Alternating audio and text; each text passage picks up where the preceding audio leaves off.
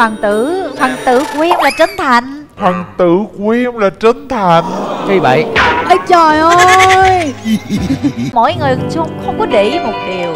Dạ. Bình thường thì Harry không có ngồi ở đây. Dạ đúng. Đúng rồi lúc nào cái góc nhìn của em nhìn chị Harry là cũng là góc này. Đúng rồi. Anh định hỏi đó tại sao bữa nay em qua đây? Tại em biết sao không? Nghĩa là, là tập cuối của cái dòng 1 mà.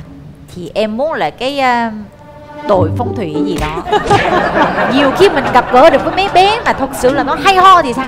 Ủa vậy thôi đó hả? Người chơi hệ phong thủy. Tưởng gì?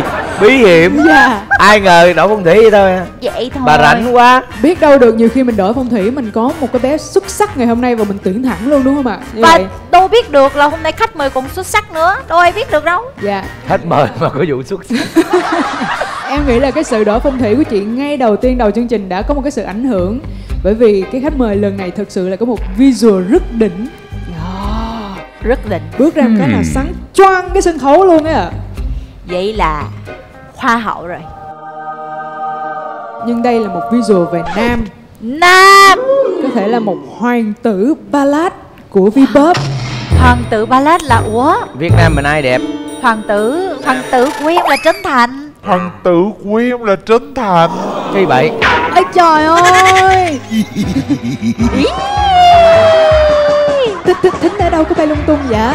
Quang Vinh. Ý lộn Quang Vinh là Hoàng Thứ Sơn ca. Phải. No Chà đó. Còn ai vào đây nữa? Đó chính là nam thần Vpop Xin mời Giám khảo khách mời chúng ta Nu Phước Thịnh. Đó. Wow Ây da. Ây da anh ơi. Trời ơi đau mắt Ai à, quá cháu à, à. Nhiều hoa Sao vậy? Trời ơi da đừng anh đừng cười cháu á à. ôi nhìn ở đây thì nhìn ở đây bình thường. Ôi nhìn ở bên kia nhìn không được trời ơi. Dạ xin được giới thiệu giám khảo khách mời chúng ta ngày hôm nay Đó chính là ca sĩ Nu Phước Thịnh ạ. Bling bling. Vợ con mà bây giờ Tôi không làm gì cũng dập tôi nữa. Em đâu có dập anh đâu em nói là hoàng tử của em trong trái tim là anh. Cho đến khi gặp nu thì khác. Bây giờ chưa gì cái lục đục nội bộ rồi. Còn em luôn luôn là mẫu hậu trong trái tim anh. Mong hậu là gì? Là má đó. Má à? À. Hôm nay với ờ, với bộ đồ đó thì là công chúa trong trái tim của Nu. quá ừ, Bên hoàng tử bên công chúa dắt nhau về ở chung đi em. Nhưng mà anh ờ, anh Trấn Thành có một cái điều kiện là không gọi trả. Một khi đã lấy là không trả về.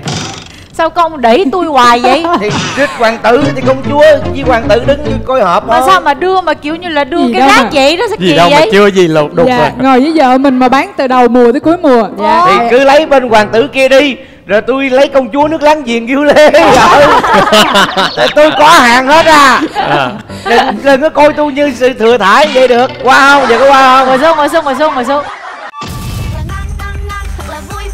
Heo cáo bồi, nguồn dinh dưỡng từ thích. Super 10 siêu tài năng hiếm mùa 2 lúc 20 giờ 30 thứ năm hàng tuần trên HTV7 và kênh YouTube Madison Media Group.